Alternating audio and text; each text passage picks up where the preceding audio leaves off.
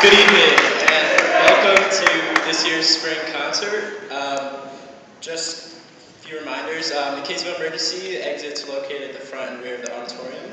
And um, if you could all just please take a minute to turn off your cell phones.